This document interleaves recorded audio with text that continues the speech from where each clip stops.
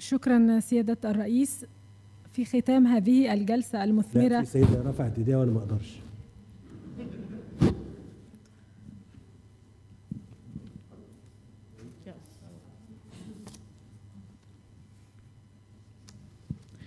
مساء الخير. أنا اسمي ماي جابالا. أنا بشتغل في هيئة إنقاذ الطفولة Save the Children هي هيئة دولية بتشتغل في 120 دولة في العالم.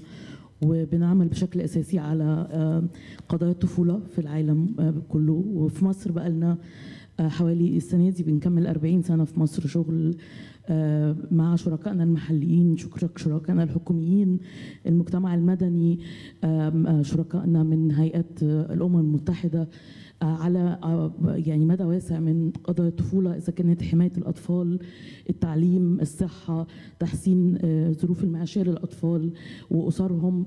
والحقيقة يعني آه، مبادرة حضرتك يا فندم آه، بتاعت حياة كريمة مبادرة بت بت- بت- بتتنا- تتناسق بشكل كبير جدا مع الرؤى اللي إحنا بنحطها بالتنسيق مع شركائنا الح- الحكوميين. إذا كانت في دعم آه، مبادرات اللي بتشتغل على تنمية الطفولة المبكرة آه، ووضع سياسات و معايير لجودة ال- لجودة الخدمات المقدمة من خلال وزارة التضامن الاجتماعي. أنا عايزة كمان أذكر هنا كمان شغلنا مع وزارة التضامن الاجتماعي على ال- ال- الكفالة نظام الكفالة ونظم الرعاية البديلة الحقيقة اللي مصر عاملة فيها دور يعني دور رائد آه، في المنطقة وإحنا الحقيقة بن- بنتكلم مع زمايلنا في المكاتب موجودة موجودة في المنطقة في في في الموضوع ده بالذات الحقيقة عندنا آه، تجربة ناجحة جدا في بصدد التنسيق مع الوزارة إزاي ننقل التجربة دي لبلاد تانية بحقيقي محتاجين يتعلموا من مصر في آه، فكرة الكفالة. آه، لما هنتكلم عن التعليم بنتكلم على آه، آه، فرص كتيرة لإتاحة تعليم ذو جودة عالية آه، في ل- لأكثر الفئات اللي اللي ممكن رجاء تكون الاختصار من عندها فضلك؟ آه، آه، آه، آه، آه، آه، ما عندهاش الإتاحة. اتكلمي زي ما انت عايزة. شكرا. يا فندم وبعدين بقى شكرا يا فندم. آه، أنا أنا أنا مش عايزة أطول على حضرتك. أنا عايزة. بس أشرح إن إحنا ما عملناش ده كله كهيئة إنقاذ الطفولة سيف ذا تشيلدرن لوحدنا. كنا بالشراكة مع مجتمع مدني حضرتك من خلال الإطار القانوني. اد- اديته فرصة كبيرة الحقيقة انه يبقى شريك فاعل مع الدولة في كل جهود التنمية. عايزة آه، بس أستغل الفرصة دي وارجع للي حضرتك كنت بتقوله الصبح والنهار ومن شوية على دور المكون البشري في إحداث التغيير. وبما يتعلق بالشباب والأطفال والمراهقين ودورهم في الحقيقة إن هم يبقوا موجودين أو حضرتك تقدر تساعدنا كلنا في خلق آه، مساحة ليهم مساحة صديقة ليهم في كوب 27 إزاي يقدروا يتكلموا عن آثار التغير المناخي عليهم؟ إزاي يقدروا يقولوا آرائهم في مبادرات ليها آه، شكل ابتكاري وشكل آه، آه، يقدر يساعد فعلا الدو- الدول كلها يساعد كل داعمي آه، صانعي القرار. في العالم كله على إزاي يقدروا ياخدوا قرارات فعلا تنفذ التزاماتهم إزاي تقدر مشاكل التمويل اللي كان آه، سيادة آه، دولة رئيس مجلس الوزراء النهارده الصبح بيتكلم عليها. سيف ذا تشيلدرن بالتعاون مع شركاء كتير في تصدد إطلاق السنة دي حملة عالمية لمسانده كوب 27 آه، في آه، تحقيق كل أهدافه. فإحنا هنا بس بنقول إن إحنا موجودين وعايزين نساهم في الموضوع ده مش إحنا بس إحنا والمجتمع المدني وكل شركائنا. شكرا يا فندم. شكرا. أنا اللي بشكرك و وما تزعليش لا لا بس كده اتفضل براحتك. بس كان لابد طبعا إن أنا أديها الفرصه إنها تتكلم وكده والحقيقة كل المساهمات اللي اتقالت النهارده يعني مساهمات آه، داعمة ومشجعة يعني.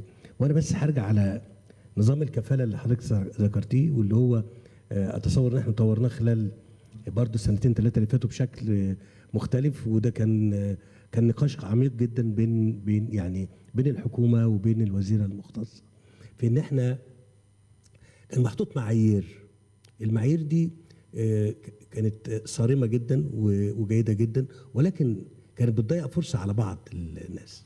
فإحنا قلنا طب يعني مش هن مش هن مش هنقلل المعايير لكن هنعطي فرصة لتجربة ونشوف نتائجها عملت إزاي. والحقيقة لقينا رد الفعل بتاعها آه، رد فعل رائع جدا جدا. وبالتالي لما جينا نقول نقارن بين بيئة اجتماعية داخل دار رعاية مهما كن مهما كان جودتها وما بين إن إحنا نخلي الرعاية ديت داخل أسرة برضو مهما كان آه، مستواها. فلقينا إن المقارنة مش لصالح آه، مش ضد الفكرة. لأن إن إحنا لو أعطينا ال- الفرصة للبيوت اللي مستعديه تعمل ده وتبقى آه، تكفل يتيم أو يتيمة آه، هيعطي مناخ إيجابي أكتر كتير بغض النظر عما يتم تقديمه في دور الرعاية. لا يمكن ابدا هنستطيع إن إحنا في دور الرعاية نوفر ال- الرعاية اللي اللي, اللي, ده عدد آه، على اللي بيقوم بالدور كم واحد. لكن في البيت هيبقى أسرة على طفل أو طفلة. فبالتالي كان آه، النتيجة اللي إحنا شفناها زي ما حضرتك قلت كده إنها محتاجة إن ممكن كمان يتم نقلها للآخرين للاستفادة منها وأنا معاك في ده ومستعدين نساهم في هذا الأمر. النقطة الثانية أنت اتكلمتي على فكرة إحنا هنعمل إيه في المؤتمر؟ يعني عايز أقول إحنا يعني واخدين موضوع جد قوي. موضوع ال- الإعداد للمؤتمر بدأ وأنا في جلاسكو. صحيح إن إحنا نتحرك كمؤسسات كدولة من بكل ما تعنيه هذه الكلمة على إن إحنا اليوم ما إن شاء الله يعقد المؤتمر نكون جهزنا وعملنا كل ما يمكن عمله من أجل انجاحه النقطة اللي حضرتك ذكرتها تحديدا في إن الشباب يبقوا موجودين جزء من الموضوع ده إحنا بنفكر فيه.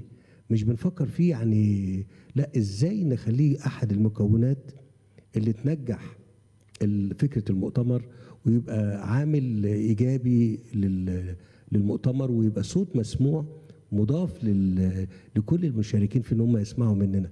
إحنا حريصين على كده. فبس النهارده إحنا بندور على شكل الشكل اللي ممكن نحقق بيه هذا الأمر يعني نعمله إزاي ويبقى ضمن منظومة عمل والمؤتمر اللي إن شاء الله يتعمل نهاية السنة دي يعني. لكن ده موضوع محطوط في الاعتبار أطمنك يعني.